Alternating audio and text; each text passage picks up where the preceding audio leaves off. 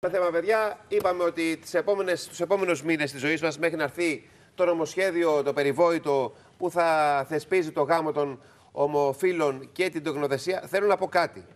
Επειδή πολλώνεται ο κόσμος, κάθε δημοσκόπηση που βγαίνει, η επόμενη από την προηγούμενη, τα πράγματα αλλάζουν κατά τη. Δηλαδή, πλέον τώρα, λίγοι περισσότεροι είναι αυτοί που δεν έχουν πρόβλημα με το γάμο των ομοφιλοφίλων και των ομοφύλων.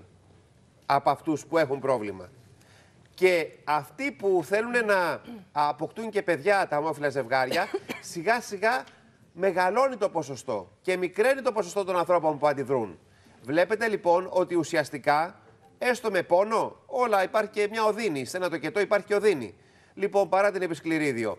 Ακόμα και με πόνο λοιπόν, βλέπετε ότι τα πράγματα οδεύουν σε μια άλλη κοινωνία που ούτε συμφωνούμε είτε διαφωνούμε, οφείλουμε να αποδεχθούμε ότι εκεί πάει το πράγμα. Άρα, καλό για μας να προσαρμοστούμε όσο το δυνατόν πιο γρήγορα για να μην έχουμε εντάσεις και αναταράξεις. Αυτή είναι η αλήθεια. Η Εκκλησία αντιδρά.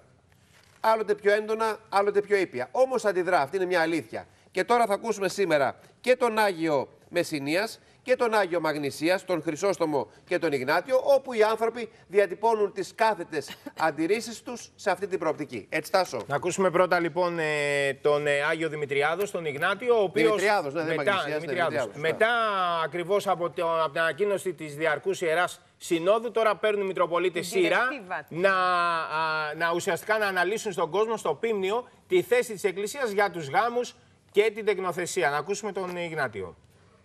Θα περάσει νόμο η κυβέρνηση για το γάμο των ομόφυλων ζευγαριών. Ενδεχομένως αυτό θα γίνει με πολιτικό γάμο. Το ενδεχομένως δεν το κατάλαβα καθόλου. Υπάρχει και άλλος τρόπος. Δεν υπάρχει άλλος τρόπος.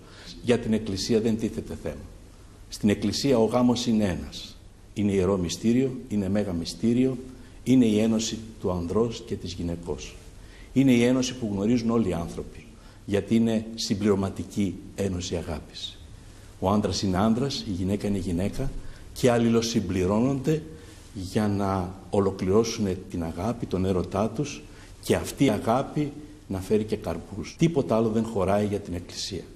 Και όλοι το ξέρουν πολύ καλά ότι αυτό είναι το ανθρώπινο, αυτό είναι το σωστό, αυτό είναι το φυσιολογικό, Είναι μη φυσιολογικό το άλλο; είναι κανείς που μπορεί να το πει φυσιολογικό. Αυτό είναι ίσως ε, ένα πλεονέκτημα που έχουμε στη Δύση με μια ελευθερία που έχουμε αποκτήσει και με ένα πολίτευμα που επιτρέπει στους ανθρώπους, ναι, να διαφοροποιούνται και σε αυτό το τομέα.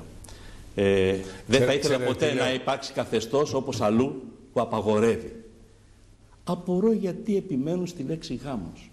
Για ποιο γάμο; Μα το γάμο τον είχαν απαξιώσει και τον απαξιώνουν σε πολλούς χώρους. Γιατί αυτή τη στιγμή γίνεται τόση μεγάλη κουβέντα; Γιατί ο γάμος έχει παραδοσιακές εκδηλώσεις που ενώνονται και δύο οικογένειες ταυτόχρονα. Δεν νομοθετούμε, δεν κυβερνάμε, μόνο διακονούμε έναν λαό που τον θέλουμε ενωμένο, που τον θέλουμε ελεύθερο. Ελλάδα Πρέπει πριν να από αρκετό καιρό έγινε μεγάλη φασαρία γιατί ο Αμερικής ελπιδοφόρος είχε βαπτίσει ε, δύο παιδιά που προήλθαν από ομόφυλο. Ουδής μπορεί να αρνηθεί το βάπτισμα ενός παιδιού. Θα βαπτίσω όποιο παιδί μου φέρουν να το βαπτίσω. Σε αυτό όμως που έχω αντίρρηση και θα το πω ευθέως είναι ο τρόπος που έγινε.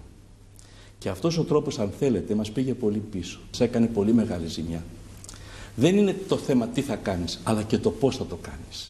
δεν μπορεί στην Εκκλησία να γίνει αποδεκτή καμία άλλη μορφή συμβίωσης έξω από το γάμο. Για την Εκκλησία δεν υφίσταται ζήτημα τεκνοθεσίας μεταξύ ομόφυλων προσώπων. Πρώτο πρώτον, το τι είναι τα παιδιά το υπέδειξε ο κύριος αρχηγός της αξιωματικής αντιπολίτευσης όταν βγήκε και έδειξε την οικογένειά του, τον σύντροφό του μαζί με ένα σκύλο.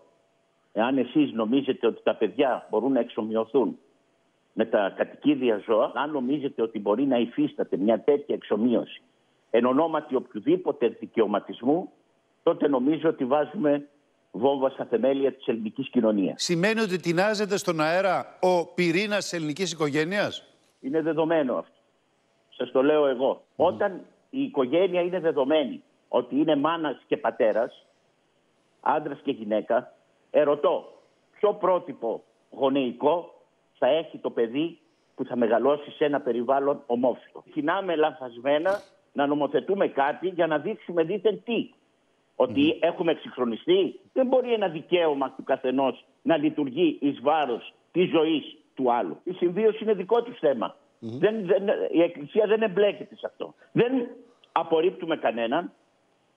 Δεν βάζουμε στεγανά σε κανέναν. Όποιος θέλει να έρθει στην Εκκλησία έρχεται. Και αν δεν θέλει, μπορεί να φύγει από την Εκκλησία.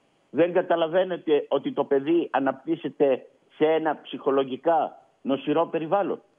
Είναι δεδομένο αυτό. Και αυτό είναι το πρόβλημά μας. Το πρόβλημά μας είναι ότι μπαίνει μέσα σε μια σχέση δύο ανθρώπων που για την Εκκλησία η σχέση αυτή δεν είναι φυσιολογική. Και Εάν- άρα το παιδί Ναι, ναι. θα αναπτυχθεί κατά την Εκκλησία μέσα σε ένα μη φυσιολογικό περιβάλλον. Δεν έχω ακούσει τις γυναικείες οργανώσεις να παίρνουν θέση για αυτό το ζήτημα. Πώς βλέπουν το ρόλο της γυναίκας μέσα στα πλαίσια του δικαιώματος που έχει η γυναίκα ως γυναίκα; Να είναι μητέρα δίπλα σε έναν πατέρα. Πώς αντιλαμβάνονται το ρόλο τους να παίζουν το παιχνίδι της παρένθετης μητρότητας και να γίνονται μηχανή μιας κατάστασης για να εξυπηρετηθούν ορισμένες σκοπιμότητες.